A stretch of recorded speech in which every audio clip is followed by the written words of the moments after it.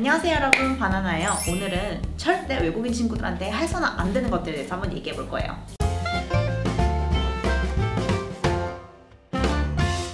첫 번째. 자 저희가 외국인 친구 만났을 때 제일 먼저 하는 게 뭐예요? 얼굴 보고 얘기하는 거잖아요. 그쵸? 누구 닮았다는 얘기하는 거예요. 제 제이크 질레너를 닮았다. 제 엠마 왓슨 닮았다. 이런 거 하고 싶을 때 있거든요. 왜냐면 진짜 우리 눈에 좀 비슷하게 보이니까. 근데 외국 애들은 별로 안 좋아하는 것 같아요 약간 반응이 어떠냐면 너 누구누구 닮았어? 이렇게 얘기하면은 어 예? 음, thank you 약간 이런 반응이에요 왜일까? 아, 실제로 좋아할 수도 있고 안 좋아할 수도 있는데 나는 난데 왜 자꾸 누구를 닮았다고 하는 거야? 라고 생각할 수 있어요. 그리고 우리한테는 다 외국인 배우라서 그냥 뭐 예쁘다 뭐 별로다 뭐 이렇게 생각할 수 있지만 외국에서는 또 그들만의 이미지가 있잖아요. 한국 사람들은 항상 그렇게 얘기하더라. 나는 반응이 많더라고요. 누구 닮았다는 얘기하는 거 비추합니다. 두 번째 homophobia 언급하기 homophobia라는 거는 뭐냐면 게이나 레즈비언이나 이렇게 LGBT 성 정체성이 다른 사람들에 대해서 부정적으로 생각하는 사람을 얘기하는 거예요. 근데 이거를 정말 외국에 살 때는 조심해야 되는 것 같아요. 왜냐면 여러분들 가족 중에서도 게이거나 아니면 트랜스젠더가 있을 수 있어요. 근데 한국에서는 그걸 잘 안 밝히잖아요, 아직은. 외국은 진짜로 밝히는 사람이 많다고 하는 게 맞겠죠. 그래서 가족이나 친구나 뭐 best friend 아니면은 심지어 내 자식이 게이일 수 있거든요. 저는 사실은 되게 이제 LGBT에 대해서 오픈마인드고 얘기할 때 되게 조심스럽게 얘기하는 편인데 게이에 대한 한국 사람들 반응이 좀 일반적으로 부정적이에요. 게이냐? 너 게이 같아. 뭐 이런 말도 너무 쉽게 하고 인상 딱 찌푸리고 아 나 싫어. 난 게이는 싫어. 외국인 친구한테 상처가 될 수 있어요. 왜냐면 실제로 그 외국인 친구 자체가 호모일 수도 있는 거거든요. 그리고 그 사람 가족이나 친구들이 그런 사람이 많을 수 있기 때문에 진짜 조심해야 되는 부분인 것 같아요. 본인이 그런 생각을 가지고 있다고 해도 안 해도 되는 말은 안 하는 게 나은 것 같아요. 나이 묻기. 너 몇 살이야? 왜냐면 진짜로 대답하기 싫어하는 사람 많이 있어요. 그리고 실제로 대답을 못 듣는 경우도 많이 있을 거예요.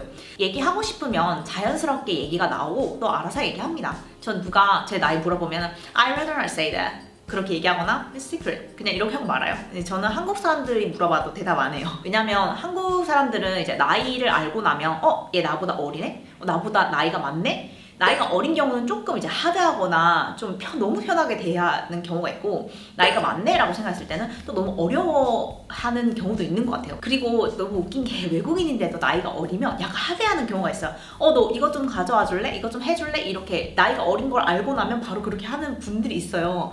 그리고 우리나라는 나이 많은 사람한테 말 대답하거나 아니면 좀 무례하게 말하거나 기분 나쁜 표시하는 거를 되게 좀 조심하잖아요. 근데 외국은 그런 게 없어요. 내가 불만 있으면 나이가 많건 할아버지건 할머니건 그냥 합니다. 애들도 선생님한테 할 말 있으면 딱 하고 자기 불만 있으면 딱 하고 어리다고 해서 절대로 막 무시를 받거나 이런 개념이 없는 것 같아요. 그래서 어릴 때부터 자기 의견 딱 표출하는 걸 되게 정확하게 배우고 자기가 좋아하는 거 싫어하는 거를 뭐 나이나 분위기에 상관없이 말할 수 있는 그런 분위기가 있거든요. 종교에 대해서는 솔직히 밝히는 것도 자유롭고 종교가 없다고 얘기하는 것도 괜찮고 다 괜찮지만 다른 사람의 종교에 대해서 너무 쉽게 얘기하거나 어, 무슬림은 IS다 뭐 이걸 너무 쉽게 판단하거나 이런 거를 좀 조심해야 됩니다. 친구를 만났는데 그 친구가 이슬람을 믿는 친구예요. 또 이슬람이야? 너 무슬림이야? 약간 표정이라든지 이렇게 감정 표현하는 거를 되게 조심해야 돼요. 우리가 한국에서는요 여러분 레퓨지에 대해서나 이민자에 대해서나 되게 부정적인 의견을 자유롭게 표현하잖아요. 표현하면 안 된다는 건 아니지만 어떤 종교를 믿는지에 대해 잘 모르는데 함부로 말을 해서는 안 돼요. 그렇게 했을 때 굉장히 무지한 사람, 무식한 사람으로 인식이 될 수 있거든요. 그래서 미국에도 그런 사람 많아요. 아, I hate Muslims. 그렇게 얘기하는 사람 있어요. 하지만 그런 사람들의 인식이 어떻게 되냐면 좀, 아, 무지한 사람, 무식한 사람, 약간 어, 말도 함부로 하는 사람, 이렇게 인식이 돼요. 여러분들도 외국에 나와서, 아, 나 무슬림 싫어. 나, 아, 무슬림, 으, 막, 어, 히잡 쓰고 막 이렇게 절대 하지 마세요. 그게 되게 무례한 행동이에요. racist 같은 발언하는 거. 정말 조심하셔야 돼요. 야, 너 중국인 같아. 뭐 이런 거나 외국에서 사는 중국 사람들이 들었을 때 진짜 기분 나쁠 수 있고 중국계 사람들이 정말 많거든요.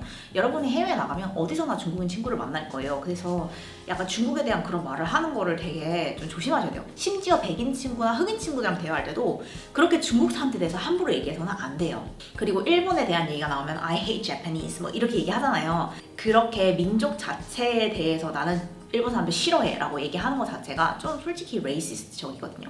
그래서 그런 발언을 자기가 생각하는 건 괜찮아요. 어, 나는 일본 싫어. 나 우리 역사적인 그런 것 때문에 일본에 대해서 악감정 가지고 있어. 당연히 그럴 수 있죠. 민족적인 감정이잖아요, 그거는. 근데 그거를 이제 외국인 친구를 사귀면서 I hate Japanese, I hate Japan culture, I don't want to go there. 이런 식으로 나 정말 싫어해 이런 거를 막 너무 밝히지 않으셔도 돼요. 왜냐면 이제 여러분들이 가게 된 나라들이 대부분 이민 국가일 거예요. 그쵸? 한 민족에 대해서 너무 섣부르고 너무 쉽게 판단하는 발언을 해버리면 그 듣는 사람이 그 민족이 아니더라도 아, 이 사람은 좀 편견이 심하네? 이 사람은 약간 스테레오타입에 갇혀있는 사람이네? 이렇게 생각할 수 있거든요. 그래서 여러분들이 처음으로 친구를 만날 때 이런 발언에 대해서는 조심하셔야 되는 건 맞습니다. 우리가 약간 필리핀어라든지 베트남 출신이라고 하면 좀 무시하는 경향 이 있잖아요. 근데 외국에 가면요, 여러분 진짜로 태국 사람, 베트남 사람, 말레이시아 출신 진짜 많고요. 그 출신에 되게 잘 살고 되게 똑똑한 사람들 많아요. 동남아는 후진국이다 이런 생각을 가지고 대화를 하거나 어너 베트남 출신이야 이런 얘기 하는 거에 대해서 조금 말할 때 뉘앙스를 되게 조심하셔야 돼요. 그 여러분들이 나가게 되면 정말 많은 좋은 친구들을 동남아 출신의 이민자들을 많이 만날 거예요. 그래서 너 베트남 사람 같이 생겼어. 너 뭐 너 필리핀어냐? 뭐 이런 말 할 때 무지한 얘기야. 이렇게 반응할 수 있어요. 그러니까 여러분들이 좀 어색한 상황에 처하고 싶지 않다면 이런 발언은요. 그냥 총체적으로 조심하셔야 됩니다. black이란 단어를 조금 조심해서 사용해야 되는 경우가 있어요. 예를 들어서 어, the black guy 이런 식으로 뭐 친구들 사이에서 편하게 얘기할 때는 얘기를 하긴 하는데요. 어, 주로 미국에서는 African American이라고 얘기를 하는 게 맞습니다. 그렇게 하지 않고 함부로 black woman, black guy 이런 식으로 black을 붙여서 하는 게 조금 무례하다고 인식이 되기도 하거든요. 그리고 이제 외모에 대해 설명하거나 아 나 우리 교실에 어떤 흑인애가 있었는데 이런 얘기 할 때도요. 굳이 막 인정에 대해서 그렇게 얘기하지 않는 것 같아요. There's one classmate named Jeremy. 근데 진짜 친한 친구들 사이에서는 편하게 얘기를 해도 상관은 없어요. 여러분들이 예를 들어서 친구를 만났는데 독일 친구를 만났어요. 근데 그 독일 친구가 흑인이에요. 근데 어 너는 독일 출신인데 흑인이네?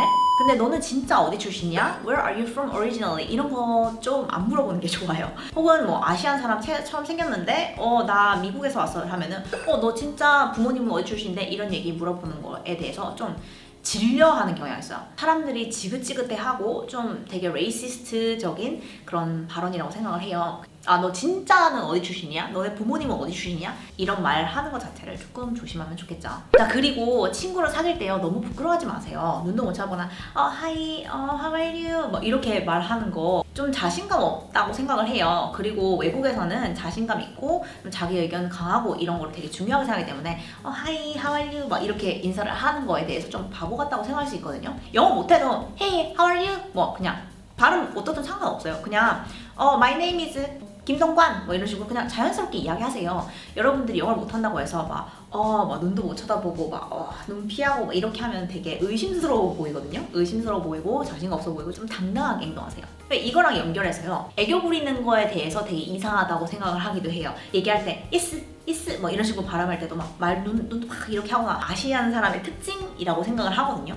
그래서 그냥 얘기할 때도 yeah, yeah, 오케이 이런 식으로 발음하지 막 yes yes 막 눈 크게 뜨고 막 음, 바, 발음하고 이렇게 하고 이런 행동을 일부러는 하지 마세요. 왜냐면 귀엽다고 생각한다기보다 한 너무 애 같다 이렇게 생각할 수 있거든요. 그리고 예쁘다, 잘생겼다 막 너무 얘기를 많이 하는 것 같아요. 칭찬하는 건 물론 좋죠. 그런데 막 외모에 대한 언급을 너무 많이 하는 건 좋지 않은 것 같아요. 상대방을 좀 부담스럽게 할 수 있고요. 그리고 대화가 더 아니어집니다. 아, 야, 너 너무 예뻐, 너 너무 잘생겼어. 계속 그런 얘기만 하다 보면은 좀 서로 어색해요. 약간 어, 그래 고마워. 또 가끔은 좀 건방지게 행동을 하게 되기도 하는 것 같아요. 이제 외국인 친구들이 Korean people think I'm handsome, Korean people think I'm pretty. 뭐 좀 약간 대화를 하다 보면 한두 번 할수 있지만 계속 어, 너 너무 예뻐, 너 너무 잘생겨서 그런 얘기를 계속 할 필요는 없는 것 같아요. 그런 칭찬할 때 얼굴이 작다, 팔다리가 진짜 길다, 코가 진짜 높다 이런 얘기는 조금 이상하게 받아들이는 것 같아요. 얼굴 작은 게 왜? 코 높은 게 왜? 약간 그리고 어떤 친구들은 얘너 진짜 코 높다 했을 때 기분 나빠하기도 하거든요. 왜냐면 서양에서는 코가 큰 게 좋은 게 아니에요. 코가 오히려 좀 작고 약간 날렵하고 예쁜 게 중요하지 코가 높은 거가 오히려 컴플렉스인 사람도 있어요. 근데 너 코가 너무 진짜 높다 막 이렇게 얘기하면 what? Why do you say that? 뭐 내 코가 왜? 뭐 이렇게 얘기하는 반응이 있어요. 코에 대해서 얘기할 때도 조심해야 됩니다. 살에 대한 언급이라든지 외모에 대한 언급을 좀 자제하세요. 옷이나 스타일에 대한 참견을 하는 걸 되게 기분 나빠해요. 예를 들어서 아너 이거 입으면 예쁘겠다, 너 저거 입으면 예쁘겠다, 어 이거 좀 바꿔봐, 어, 너는 옷이 너무 구려 막 이런 얘기를 좀 친해지면 하게 되는데 내 스타일이고 이거 내가 좋아하는 거고. 근데 너가 왜 그렇게 얘기해? 약간 이런 반응이 있을 수 있어요. 그래픽이 엄청 많이 들어가거나 약간 해골물이 그려져 있고 이런 거 되게 싫어하잖아요. 배기 바지 입고 막 엄청 막 카고 바지 막 이런 거 입으면 우리는 막어 카고 바지를 입어 도 외국에서는 상대방의 옷차림이나 스타일링에 대해서 얘기를 하는 거 되게 싫어하고 심지어 가슴이 많이 파져 있거나 아니면 노출이 많은 옷 입었을 때 그 친구한테 그거에 대해서 언급하는 것도 되게 무례한 거예요.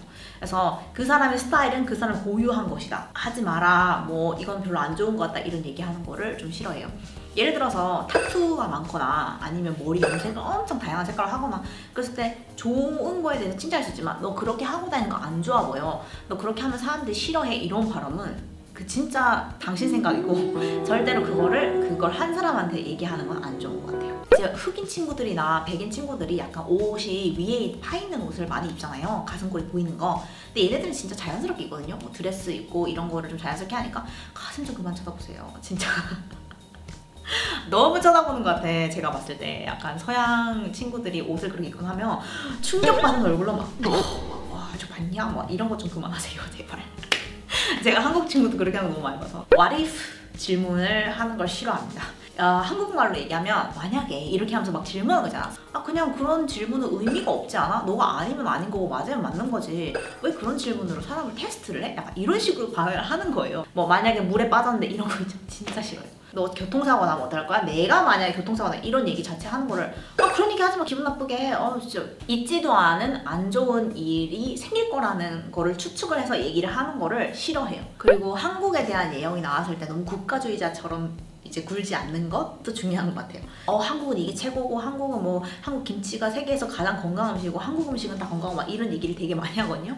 근데 그게 틀렸다 뭐 하지 마라 이게 아니라 너무 한국이 최고야 뭐 한국은 이거야 뭐. 박지상 아니야 삼성 아니야 싸이 아니야 김연아 아니야. 이건 좀 자제하시면 좋겠습니다. 서로 이제 친하게 되면은 가끔 욕도 쓰고 앞에서 뭐뭐 이런 단어 쓰거든요. 근데 쓰면 안 되는 단어가 있어요. 여러분 stupid, idiot 이런 단어 아시죠? 싫어합니다 진짜 잘못 썼을 때 기분 나빠할 수 있어요. 예를 들어서 you're so stupid, uh, such an idiot 막 많이 쓰잖아요. 근데 진짜 친한 관계일 때 쓸 수 있어요. 그렇게 안 친한 사이에서 stupid이라는 단어를 쓰는 거 굉장히 굉장히 싫어해요. stupid 대신에 어 너 진짜 바보 같아, 너 바보야 이렇게 얘기하고 싶을 때는 어 you're so silly, silly를 씁니다. silly. stupid나 idiot을 쓰는 경우에는 큰 싸움으로 번질 수 있어요. 자, 그래서 이 밖에도 안 하면 더 좋은 것들, 해선 절대 안 되는 것들 여러 가지 있겠죠. 제가 오늘 이렇게 하지 마세요, 저거 하지 마세요, 막 계속 하지 말라는 얘기만 하니까 좀, 아, 뭐야, 뭐 그렇게 대단한 외국인 친구라고 뭐 이것도 하면 안 되고 저것도 하면 안 돼, 이렇게 생각할 수 있겠지만, 한국 사람들한테도 외국인들이 하면 안 되는 것들이 있어요. 예를 들어서 일본이랑 한국이랑 막 비교해서 얘기하거나, 어, 김치는 냄새나, 어, 아시안 사람들 마늘 냄새나, 아시안 사람들 눈이 왜 이렇게 작아? 이런 얘기하면 우리 되게 기분 나쁘잖아요. 마찬가지로 외국에서는 우리가 쉽게 행동하거나 별 생각 없이 말하는 건데 외국에서는 되게 예민하게 반응하는 그런 것들이 있을 수 있거든요.